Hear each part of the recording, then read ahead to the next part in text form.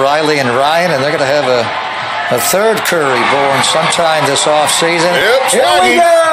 We got, we got Swaggy bathrobe. Holy moly. Look at him. He is a golf. Look at him. he is having a great time, Wow. man. he is Cousin Kelly is Swaggy near you. Cigar and Where what- are you? I, I need a little more play-by-play on what's going on there.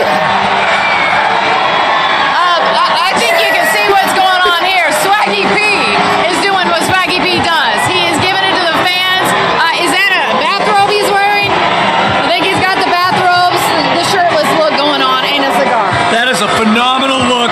That is someone who knows how to appreciate a championship, and he is having a great time with it. He has been Look at this. a long this.